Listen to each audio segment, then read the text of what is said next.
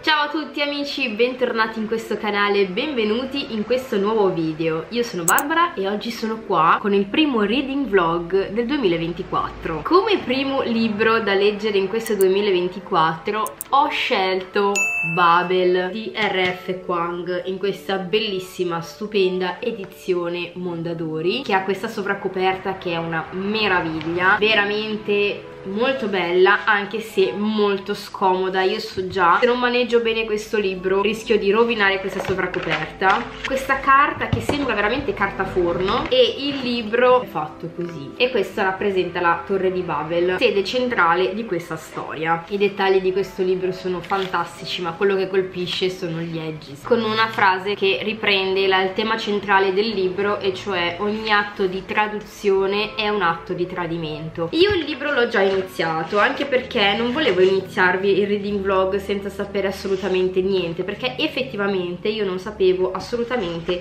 nulla di questo libro, di questa storia. Me lo sono fatto regalare per il mio compleanno completamente a scatola chiusa. Sapevo solamente che fosse un fantasy. Ho letto già le prime 117 pagine sono arrivata proprio all'inizio del libro secondo. Il libro inizia nel 1836 a Canton una città della Cina, una città portuale dove vive Robin Swift. Non è il suo vero nome noi ancora adesso, cioè io ho letto solo le prime 100 pagine e ancora non si sa il vero nome di questo protagonista ma assumerà il il nome di Robin Swift quando un professore londinese lo salverà dalla peste. Una peste che ha colpito tutta la sua famiglia e che ha ucciso tutti tranne lui. Lui riesce a salvarsi grazie appunto all'aiuto di questo professore. E quindi Robin sopravvive. Robin stava già morendo per la peste. Il professore riesce a salvarlo. Il professore lo salva ma non è del tutto disinteressato. C'è un motivo per cui si trova proprio lì proprio nella città di Canton e proprio per salvare Robin. Robin quindi è rapportato della casa casa di questo professore dove vive solamente con una governante. Robin Lee avrà il modo di riprendersi dopo questa bruttissima esperienza che l'ha quasi ucciso quando il professore gli farà una proposta cioè di andare con lui a Londra più precisamente a Oxford diventare uno studioso di traduzione a Babel. Robin ovviamente non ha più la famiglia non ha più come sostenersi era già un ragazzino molto povero perché la sua famiglia era caduta in disgrazia a causa delle scommesse fatte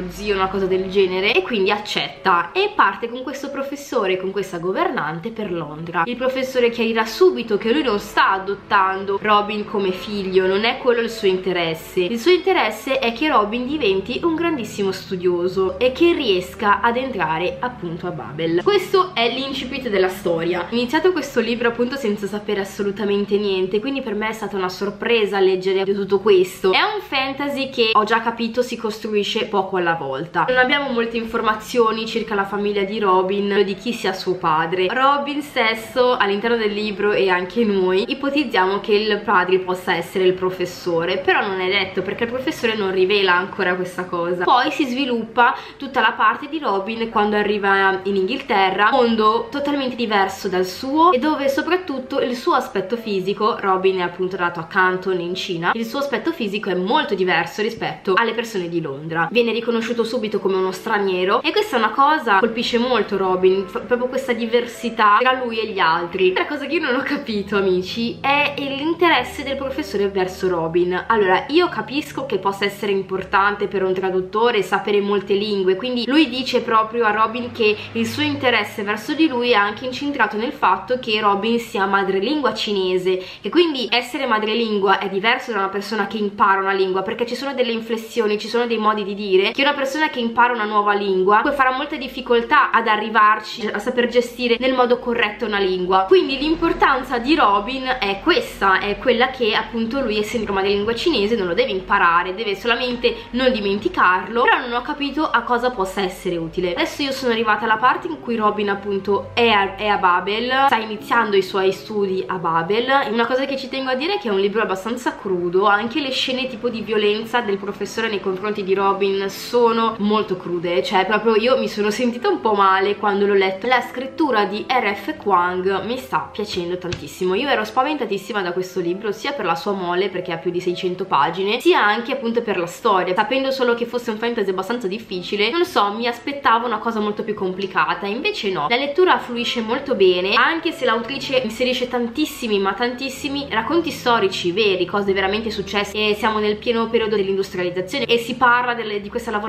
dell'argento si parla di politica della dinamica Tories e Wings quindi c'è molta politica c'è molta parte storica solo che questo non va a almeno a me non ha rallentato la lettura anzi mi ha molto incuriosito perché sono cose che comunque uh, si conoscono. Mi è sembrato carino rivederle appunto in un altro contesto in un contesto fantasy. Questo libro è un fantasy. La parte fantasy però a parte il fatto di guarire una persona dalla peste con una tavoletta d'argento non l'ho ancora intravista. Degli accenni adesso che Robin è entrato a Babel una cosa che mi incuriosisce tantissimo di questo libro è che io non capisca dove voglio andare a parare. Innanzitutto la frase che caratterizza questo libro è ogni atto di traduzione è sempre e necessariamente un atto di tradimento. In che senso? non lo so sono molto gasata da questo libro e allo stesso tempo ne sono molto terrorizzata perché ho paura di non capirlo perché essendo un fantasy che si capisce già essere molto strutturato ho paura appunto di non comprenderlo però vabbè. Prima di iniziare a leggere quindi prima di dare il via a questa lettura ci tengo veramente a scartare con voi. un regalino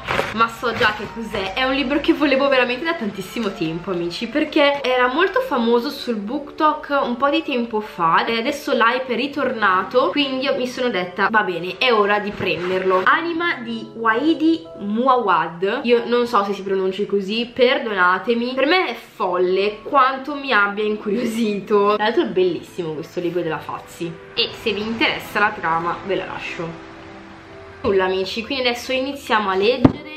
Vado avanti con questa storia. Innanzitutto inizio già a spogliare il libro perché io non leggo con questa sovracoperta non ce la faccio è scomodissima. Inizio a leggere e noi ci sentiamo tra un po' appena ho delle novità da condividere con voi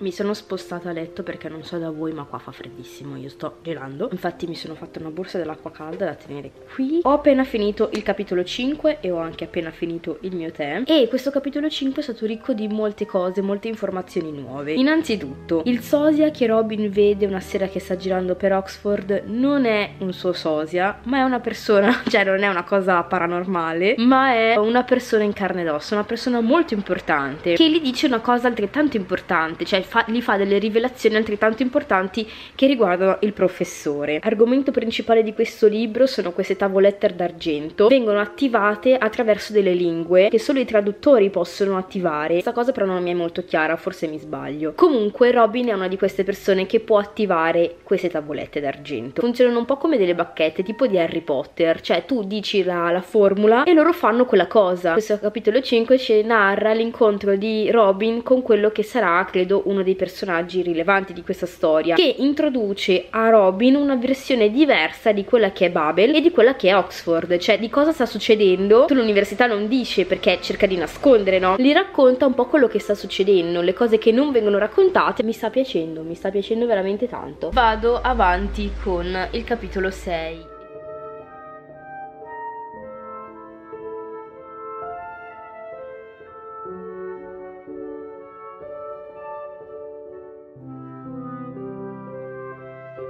Amici, sono tornata, sono a pagina 160, sto per iniziare il capitolo 8 di Babel. E adesso ho un quadro forse un pochino migliore rispetto alla storia perché all'inizio non avevo tanto le idee chiare su mh, mm, che cosa fosse lo scopo di questo libro e di che cosa si stesse parlando però adesso forse ho capito qualcosina di più. Facciamo un piccolo recap, come vi ho detto all'inizio il protagonista di questa storia è Robin Swift, Robin Swift viene portato da Canton in Inghilterra da un professore londinese molto ricco e benestante che vuole istruirlo e vuole che, che lui intraprenda una carriera di traduzione nell'università di Oxford che chiamata Babel. A Babel avviene anche la lavorazione dell'argento, l'argento che è fondamentale in quest'epoca storica di cui appunto il libro tratta, ma è anche fondamentale in quanto l'argento permette di compiere delle magie, possiamo dire così, io l'ho intesa come una bacchetta di Harry Potter praticamente e permette appunto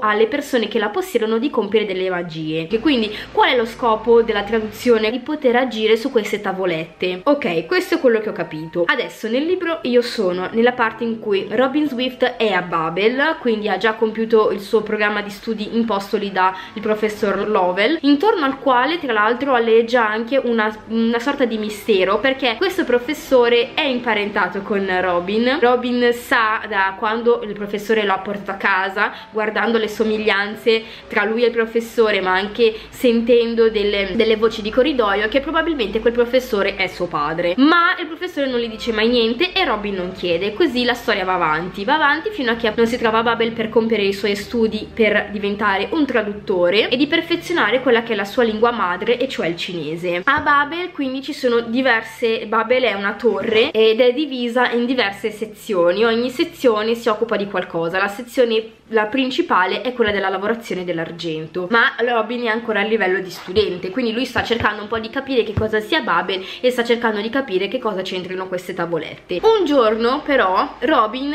viene a conoscenza di una persona una persona che diventerà molto importante nella storia e cioè di un ragazzo che gli somiglia tantissimo che io pensavo fosse una cosa tipo paranormale no? Perché questo è un fantasy quindi pensavo fosse una cosa un po' così e invece no questo, questo sosia esiste veramente ed è una persona che è molto collegata a Robin Robin nel senso che è il suo fratellastro. È un altro figlio del professor Lovell è un altro ragazzo che è stato portato da Macao dal professor Lovell in Inghilterra per fare la stessa cosa che sta facendo Robin quindi per studiare ma con un particolare che questo Griffin cioè il fratellastro di Robin ha intrapreso una, una scelta di vita diversa. Griffin ha visto che cosa serve la lavorazione dell'argento ha visto quali sono i suoi effetti ma ha visto anche i danni che provoca soprattutto perché la lavorazione dell'argento momento. Quindi con queste, con queste magie che vengono fatte non vengono messe alla portata di tutti. Ovviamente come un bene prestigioso non è che viene dato a tutti i cittadini. No solamente le persone più ricche possono entrarne in possesso e possono usarle perché hanno l'istruzione per poterlo fare e perché appunto le tavolette d'argento si pagano tanto. E quindi quello che Griffin dice a Robin è che sì Babel è il centro di tutto questo il centro delle lingue la piena conoscenza di quelle che sono le lingue per poter governare queste tavolette ma dice anche che Babel poi poi quello che prende dagli altri paesi, dagli altri popoli, poi non lo ridistribuisce perché dice che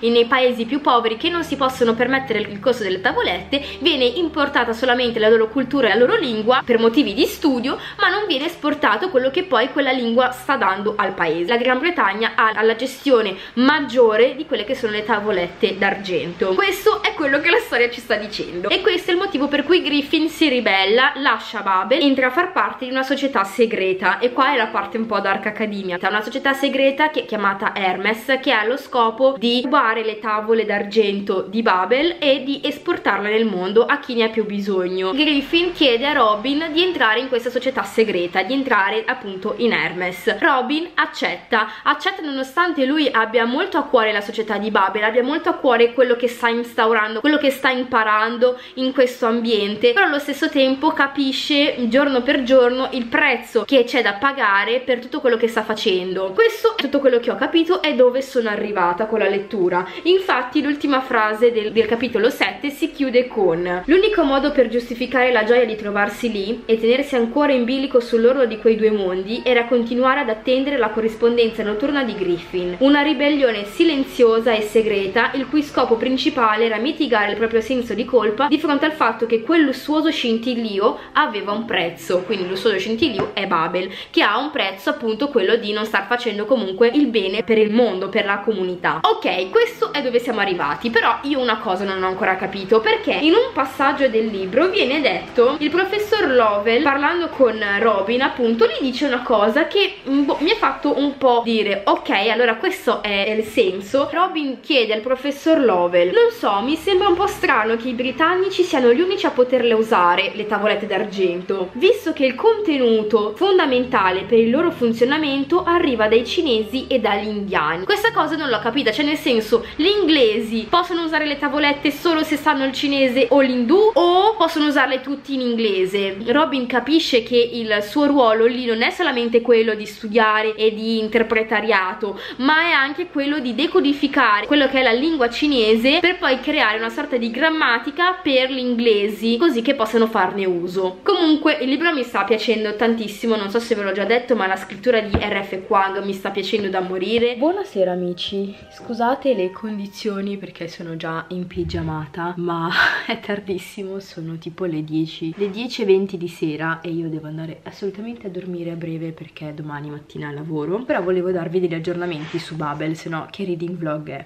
Innanzitutto parto col dirvi che ho, oggi ho fatto la mia prima live su TikTok. È andata molto bene meglio di quanto sperassi. Quindi se volete compagnia per leggere o, o avere qualcuno con cui parlare di libri io vi aspetto su TikTok. Sono riuscita ad arrivare a pagina 210 allora amici ho un po' di cose da dirvi nel senso che adesso la storia sta ingranando quindi seguiamo il percorso formativo di Robin all'università di Babel eh, dove lui appunto si sta formando per diventare un traduttore laurea che gli permetterà di incidere le tavolette d'argento quindi poterle creare lui stesso. Una cosa forse erronea che ho detto le tavolette possono essere incise solo in cinese e in indù. In realtà non è vero le tavolette possono essere incise in tutte le lingue. Io ho sottolineato un sacco di cose tutte quelle che mi sembravano importanti perché nel capitolo eh, nono viene spiegato appunto come funzionano queste tavolette ma nonostante questa spiegazione io non ho molto ben capito. Quindi forse era stata una mia disattenzione o forse io non, non capisco il sistema magico. Allora qua dice tutto molto facile. E già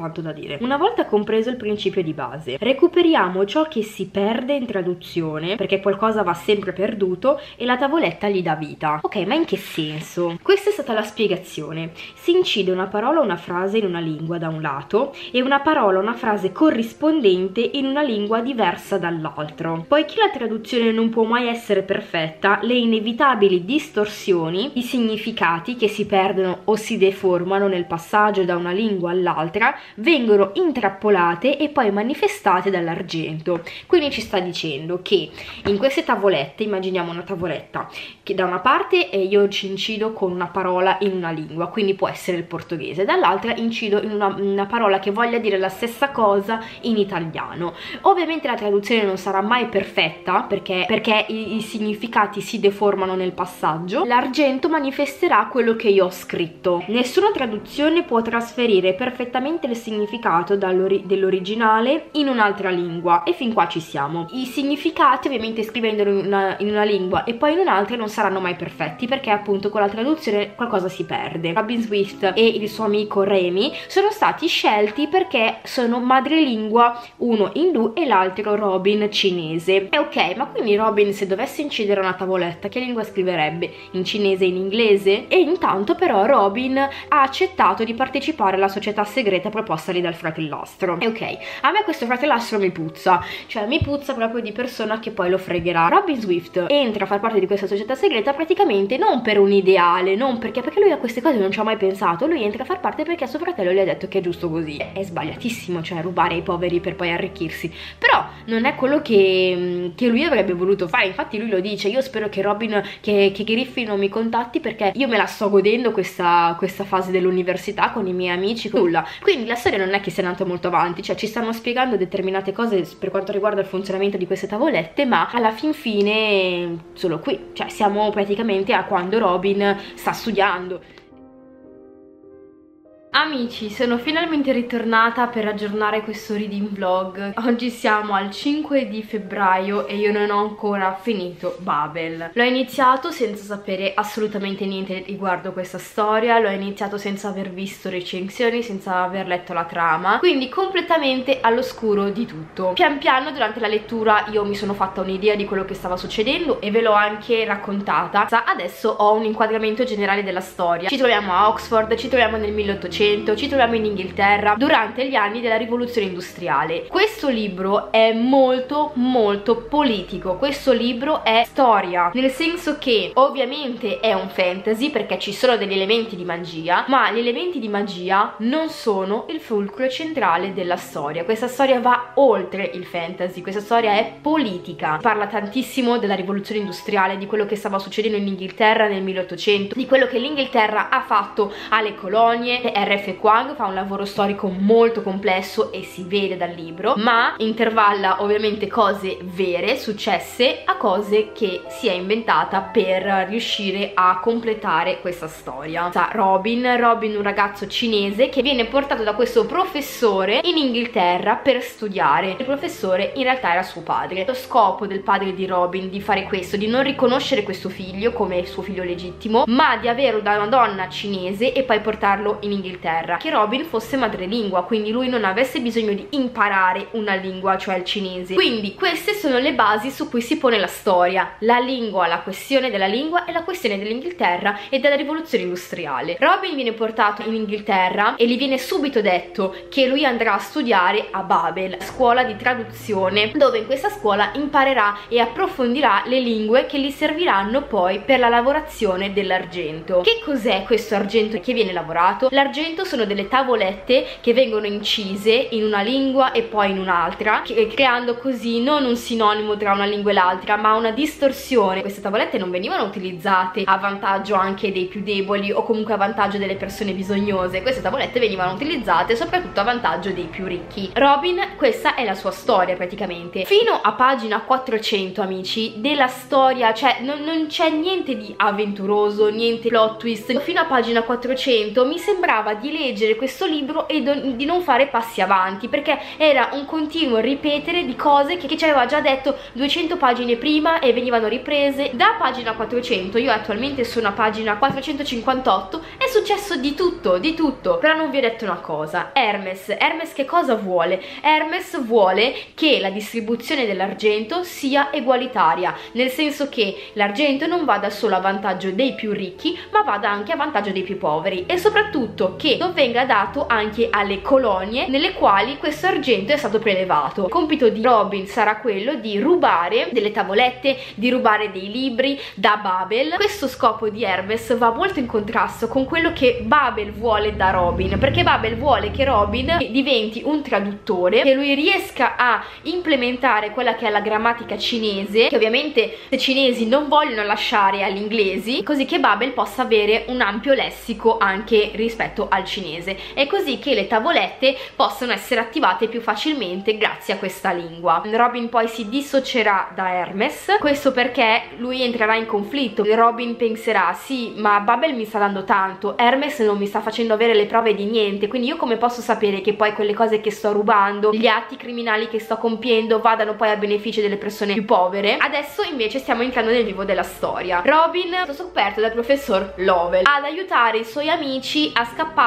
con cose rubate per conto di Hermes. E il professore inizierà poi a tenere d'occhio Robin perché eh, Robin effettivamente in Hermes c'è stato cioè lui ha fatto parte poi che se ne sia dissociato è un conto però lui ne ha fatto parte. E quindi quando viene sorpreso ad aiutare i suoi amici che hanno appena trafugato determinate cose ovviamente Robin viene un po' tenuto d'occhio. Loro partono per un viaggio in Cina accanto nella città natale di Robin. E questo viaggio è emblematico per tutto quello che succederà dopo a Babel. Loro partono per questo viaggio pensando di andare a fare del bene, pensando di andare a cercare di mediare una situazione politica tra gli inglesi che vogliono introdurre l'oppio in Cina e i cinesi che non vogliono l'introduzione dell'oppio perché dicono no, voi non, non, potete introdurre una cosa che nemmeno per voi va bene solo perché qua potete guadagnarne di più. Loro vanno a mediare questa situazione, loro quattro, insieme al professor Lovell. Questa spedizione, diciamo così, sarà cruciale perché qua Robin scoprirà tante di quelle verità, scoprirà che cosa sta veramente facendo l'Inghilterra alla sua patria scoprirà tante cose in merito al professore, a suo padre e qua ci sarà l'apice drammatico, cioè una cosa che Robin farà nei confronti del professore. Sono arrivata ad una parte molto delicata perché dopo che loro sono tornati, dopo che è successa tutta questa baraonda, sono tornati e si devono nascondere e ricercano Hermes perché hanno scoperto delle cose molto importanti sul conto di, eh, del professor Love e su tutti gli inglesi che sono stanziati in Cina. Robin si ricoalizza con Hermes ma succede una cosa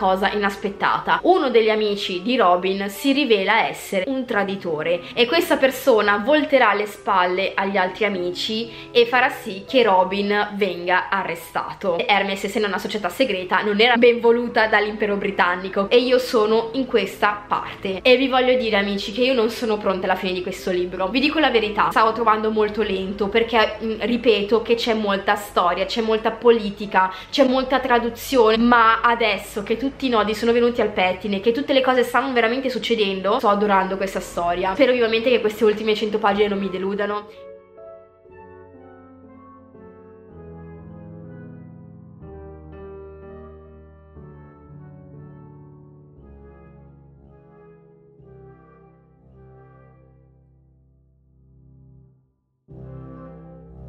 amici, eccoci per l'ultima parte di questo reading vlog. Ci eravamo lasciati che Robin era in Cina con i suoi compagni di università, quindi Leti, Remy e Tuar, e anche il professor Lovell per mediare una situazione politica tra i cinesi che non volevano l'introduzione dell'oppio in Cina e gli inglesi invece che volevano l'introduzione per potersi arricchire. Robin insieme al professore avevano il compito di convincere i cinesi ad aprire i porti per l'oppio eh, che proveniva dalla Gran Bretagna. Ovviamente i cinesi non volevano per non creare una situazione bellica tra queste due potenze allora si era deciso di intervenire con una mediazione. E questa mediazione chi doveva farla? ovviamente Robin che parlava la lingua. Però in questa sede Robin capisce quali sono veramente le mire della Gran Bretagna sull'introduzione di quell'oppio e compie quindi un atto di tradimento nei confronti di Babel perché Robin dirà la verità al generale cinese e cioè che gli inglesi avrebbero comunque introdotto l'oppio loro volenti o nolenti e questo fa scoppiare ovviamente le ostilità da parte dei cinesi. Robin e i suoi amici quindi sono costretti a scappare. Nel viaggio in nave per tornare in, a casa, quindi per tornare in Inghilterra, Robin compirà un atto da cui non potrà più tornare indietro nei confronti del professor Lovell. E questo farà sì che tutti i suoi amici ne siano responsabili perché lo hanno aiutato in questa situazione. In Inghilterra succederà il finimondo. Loro si metteranno in contatto con Hermes, sarà una decisione anche di Robin di rimettersi in contatto con Hermes per cercare rifugio e nel frattempo loro scopriranno da delle carte del professor Lovell quello che veramente era la mira della Gran Bretagna nei confronti della Cina e cioè di far scoppiare una guerra. La Gran Bretagna voleva dichiarare guerra nei confronti della potenza cinese e quindi ovviamente loro correranno da Hermes per fermare gli inglesi che ovviamente possedendo l'argento avrebbero avuto un esercito navale di molto superiore rispetto a quello cinese. Quindi loro trovano Hermes Hermes e poi da lì c'è l'escalation che porterà ad un finale pazzesco e di cui non avevo immaginato questo finale. Tra tutti gli scenari possibili e immaginabili della mia testa quello che RF Kwang ha descritto non era tra questi. Vi ho spoilerato che uno degli amici di Robin tradirà gli altri e tradirà Robin stesso. La persona che tradirà Robin non solo li tradirà ma ucciderà anche un altro degli amici. Il finale di questo libro è stato per me una lettura mozzafiato. Io non mi immaginavo tutto quello che sarebbe successo non mi immaginavo una presa di posizione di Robin in questo modo. Non immaginavo tutte le perdite che avremmo avuto in questo libro e quindi è un finale molto drammatico. Quello che non mi aspettavo è la presa di posizione di Robin nei confronti di Babel nei confronti di tutto perché noi vediamo Robin all'inizio molto indifferente a quello che succede nel mondo. Cioè se non ci fosse stato Griffin ad introdurli le condizioni precarie delle colonie ad introdurli le condizioni proprio precarie delle persone povere dell'Inghilterra stessa lui non se ne sarebbe mai accorto perché comunque Robin viveva una vita agiata dedicarsi ai suoi studi senza pensare ad altro. All'inizio RF Quang ci mostra questo ci mostra lo scintillio di Babel. Che cosa Babel poteva dare? Ma poi pagina 400 in poi RF Quang ci mostra che cosa Babel stesse togliendo a questi ragazzi. Remy, Victoire e Robin erano importanti per Babel Babel, per la loro lingua, per la loro cultura. Il professor Lovell ha fatto di Robin uno strumento per poter arrivare alla lingua cinese, alla cultura cinese. Quindi non era disinteressato lo scopo di Babel nei confronti di questi ragazzi. Babel pretendeva, dopo avergli dato tutto quello che avevano, pretendeva lealtà, pretendeva che loro andassero contro la loro madrepatria per potersene arricchire, per poter portare avanti le loro campagne politiche nel modo più indisturbato possibile. I traduttori servivano a questo, non solo a mediare, servivano a imporre le volontà della corona britannica. Poi vediamo quanto l'argento in questa società, quanto la lavorazione dell'argento, quindi queste tavolette magiche, sia essenziale alla società britannica, ma tutto questo argento, tutta questa lavorazione proviene da un unico posto e quel posto è Babel. Quindi crollando Babel crolla tutto, tutte le agiatezze che mandavano avanti la città. Ecco, questo è, è il libro amici, questa è la fine, ma la, proprio la fine fine io ve la voglio veramente lasciare a voi da leggere e da scoprirla perché io questo libro lo consiglio tantissimo, è stata un'esperienza di lettura pazzesca. Adesso parliamo un po' delle mie impressioni. Il sistema magico creato da RF Kwang è impeccabile, il fatto che non ci sia una predestinazione per la lavorazione dell'argento, per poter compiere le magie, mi è piaciuto tantissimo. Ogni persona dotata di istruzione che conoscesse più di una lingua poteva accedervi. È bello vedere come la magia sia, diciamo, per tutti, alla portata di tutti, anche se poi non è così. Mi è piaciuto tanto il fatto che l'elemento magico, l'elemento fantasy si amalgama bene con la storia. Questo libro è anche molto d'atmosfera. Fino a pagina 400 noi viviamo quella storia, noi viviamo con quei ragazzi, li vediamo passeggiare per le strade di Oxford e questo è bellissimo. È raro che un libro riesca a farmi immergere così tanto nell'ambientazione e a farmi dire a fine lettura ehi guarda che devi tornare alla realtà. Per quanto riguarda i personaggi io ho apprezzato tantissimo Robin, ho visto una grandissima caratterizzazione di questo personaggio, mi ci sono riconosciuta in lui in alcuni punti come quello del sentirsi sempre lo straniero, nonostante lui fosse una risorsa preziosa per quella nazione che lo ha ospitato, ma comunque si sarebbe sempre sentito uno straniero. È uno dei temi del libro molto sensibili e che mi hanno più toccato. Tanto ho apprezzato il suo cambiamento dall'inizio del libro di un ragazzino privilegiato e poi vederlo alla fine di una persona che combatte per i suoi ideali anche per gli ideali delle persone che non ci sono più. È un ragazzo che ha messo il bene degli altri e della collettività prima di se stesso. L'epilogo di Leti mi ha molto sorpreso, non vi so dire se mi sia veramente piaciuto quello che poi RF Kwang le ha fatto fare oppure no. Io ho visto Leti incarnare lo stereotipo della bianca colta e facoltosa che ha solo quel pensiero. Questa è una cosa che voi capirete se leggerete il libro. Ma nel complesso a me Babel è piaciuto, mi è piaciuto anche molto il finale, l'ho apprezzato tanto, non me lo aspettavo appunto, vi ho detto, non, non mi aspettavo assolutamente quello che è successo nelle ultime 50 pagine, però mi è molto molto piaciuto. La lettura di Babel è una lettura che io vi consiglio. E nulla amici, io vi ringrazio per l'attenzione, vi ringrazio per aver passato il vostro tempo insieme a me anche oggi, vi saluto e vi mando un grandissimo abbraccio e noi ci vediamo al prossimo video. Ciao!